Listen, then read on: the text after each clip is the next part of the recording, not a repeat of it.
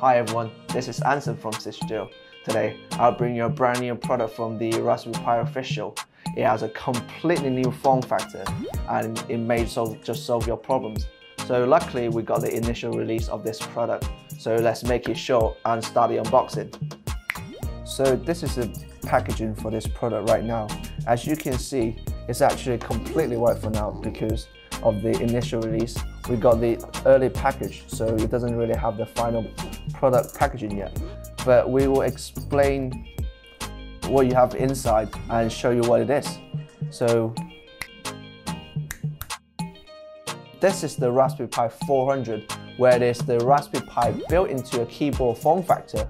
Without me mentioning that it is a SBC, you probably would never figure out it is, which supports one 4K at 60Hz or two 4Ks at 30Hz. It also has a USB Type-C input for power, which supports 5 volts at 3 amps, and of course with its Raspberry Pi 40-pin GPIO connectors at the front of the keyboard.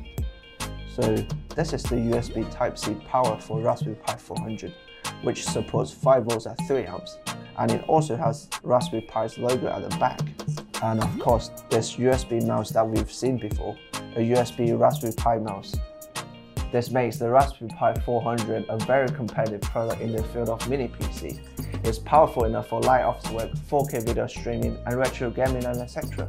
So hope you liked this video and make sure to check out this product on our site and see you next time.